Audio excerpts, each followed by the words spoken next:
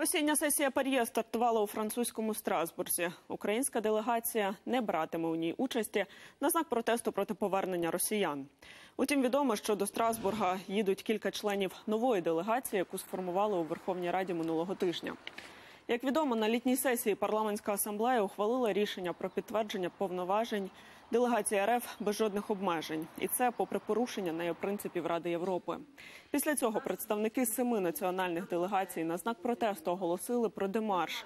Згодом до них приєдналися окремі представники Британії та Швеції.